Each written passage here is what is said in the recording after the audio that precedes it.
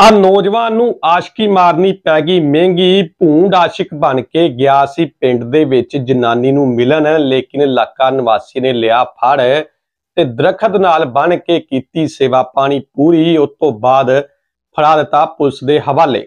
ਜੀ ਹਾਂ, ਇਹ ਮਾਮਲਾ ਜਿਹੜਾ ਹੈਗਾ ਪੰਜਾਬ ਦਾ ਹੀ ਨਿਕਲ ਕੇ ਸਾਹਮਣੇ ਆ ਜਿੱਥੇ ਕਿ ਇੱਕ ਨੌਜਵਾਨ ਹੈ ਜੋ ਪਹਿਲਾਂ ਵੀ ਇਸ ਪਿੰਡ ਦੇ ਵਿੱਚ ਆਉਂਦਾ ਸੀ, ਇੱਕ ਇਲਾਕਾ ਨਿਵਾਸੀ ਨੇ ਇਹਨੂੰ ਦੋ ਤਿੰਨ ਵਾਰੀ ਖਿਲਾਰ ਕੇ ਆਖਿਆ ਸੀ ਕਿ ਤੂੰ ਕਾਕਾ ਨਾ ਆਇਆ ਕਰ, ਲੇਕਿਨ ਉਦੋਂ ਤਾਂ ਇਹ ਕਹਿ ਕੇ ਚਲਾ ਜਾਂਦਾ ਸੀ ਕਿ ਮੈਂ ਹੁਣ ਨਹੀਂ ਆਉਂਦਾ, ਲੇਕਿਨ ਅੱਜ ਮੁੜ ਫੇਰ ਆਇਆ ਤੇ ਕਿਸੇ ਗਵਾਂਢੀ ਦੇ ਘਰ ਦੇ ਵਿੱਚ ਬਾਹਰ ਮੋਟਰਸਾਈਕਲ ਖੜਾ ਕਰਕੇ ਜਨਾਨੀ ਨੂੰ ਮਿਲਣ ਚਲਾ ਗਿਆ, ਲੇਕਿਨ ਜਦੋਂ ਉਸ ਘਰ ਦੇ ਮਾਲਕ ਵੱਲੋਂ ਆ ਕੇ ਪੁੱਛਿਆ ਗਿਆ ਪਰਿਵਾਰਕ ਮੈਂਬਰਾਂ ਨੂੰ ਤੇ ਬਾਹਰ ਮੋਟਰਸਾਈਕਲ ਕਿਹਦਾ ਲੱਗਾ ਕਿ ਉਹਨਾਂ ਨੇ ਕਿਹਾ ਇੱਕ ਮੁੰਡਾ ਜੋ ਕਿ ਮੋਟਰਸਾਈਕਲ ਬਾਹਰ ਲਗਾ ਕੇ ਕਿਤੇ ਗਾਂਹ ਚਲਾ ਗਿਆ ਗਿਆ ਫਿਰ ਉਹਨਾਂ ਨੇ ਉਹਦਾ ਇੰਤਜ਼ਾਰ ਕਰਕੇ ਉਹਨੂੰ ਫੜ ਲਿਆ।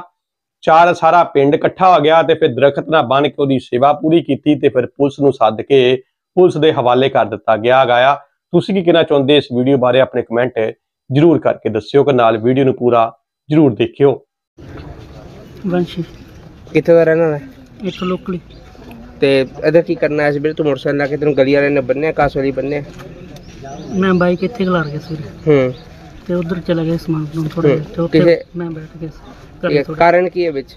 ਕਿਸੇ ਲਿਵਿੰਗ ਰਿਲੇਸ਼ਨ ਦੇ ਵਿੱਚ ਆਇਆ ਸੀ ਜਾਂ ਕਿਤੇ ਹੋਰ ਆਇਆ ਸੀ? ਲਿਵਰ ਸ਼ੇਖ ਨੂੰ ਲਿਵਿੰਗ ਰਿਲੇਸ਼ਨ ਚ? ਗੱਲਬਾਤ ਕੇ ਖੜਾ ਸੀ। ਹਾਂਜੀ। ਮੈਂ ਘਰੇ ਚਾਹ ਲੈਣ ਆਇਆ ਸੀ। ਅੱਛਾ ਜੀ। ਮੈਂ ਮਿਸਤਰੀਆਂ ਨੂੰ ਪੁੱਛਿਆ ਮੈਂ ਕਿਹਾ ਮੋਟਰਸਾਈਕਲ ਕਿਵੇਂ ਖੜਾ ਹੈ? ਕਹਿੰਦੇ ਮੋਟਰਸਾਈਕਲ ਇੱਥੇ ਖਲਿਆਰ ਕੇ ਤੇ ਮਗਰ ਗਿਆ ਮੁੰਡਾ। ਹਾਂ। ਮੈਂ ਕਿਹਾ ਵੀ ਠੀਕ ਹੈ। ਤੇ ਮੈਂ ਇੱਥੇ ਖੜ ਗਿਆ।